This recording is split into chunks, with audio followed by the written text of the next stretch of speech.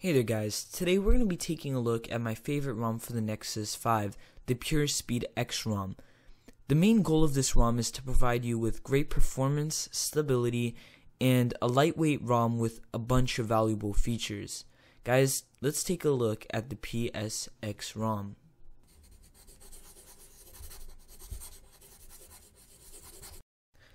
So of course, this ROM is running Android 4.4 KitKat, the latest version of Android. And as I said, this is by far one of my favorite ROMs out right now. And the main reason why I like it so much is because how simple it is. It gives you much faster performance and also better battery life and stability while also giving you some of those really useful features that should come on stock already. They don't try to cram your phone with a bunch of features that you're never going to be using and just slow down your phone. Speaking about features, let's get right into it. So if we go into settings, we get a small extra settings section which we could look through. It starts off with the bar section. We have status bar and navigation bar. Here in status bar we could do different things like go into clock and date and customize how we want the clock to be.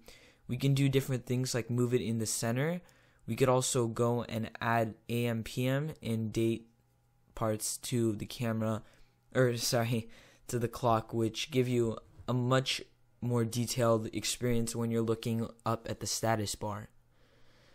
Also, another one of my favorites with this ROM is the option to customize the battery. We can go here and choose different options for the battery and they give you a bunch and the main reason I like this is because you can get the percentage up there, which should have been included with in stock, as I said before, but it's good that you get the option there. Next, we, as I said, we do get the navigation bar section. Here we can go and choose between the different DPIs for the navigation bar. So you can make it really small. I prefer 40 as it makes it a little bit smaller and it's kind of the perfect uh, amount, I think, for the buttons. So if we go back and back into buttons, we also do get some more options here.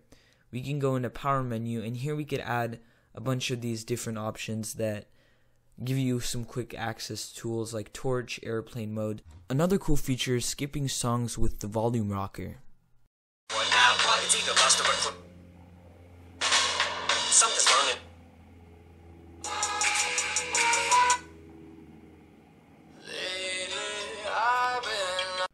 Getting into some of our last options, we can enter lock screen, and here we just get a couple of quick settings. Like one of my favorites also is quick unlock.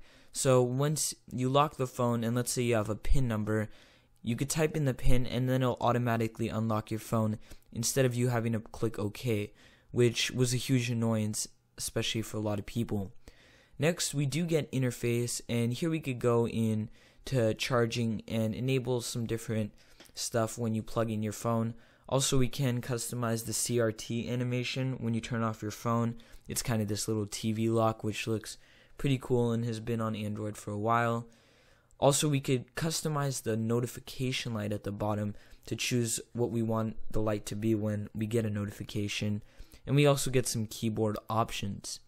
So guys, that's pretty much it for the settings. And as you can see, all the features that I listed are actually pretty useful.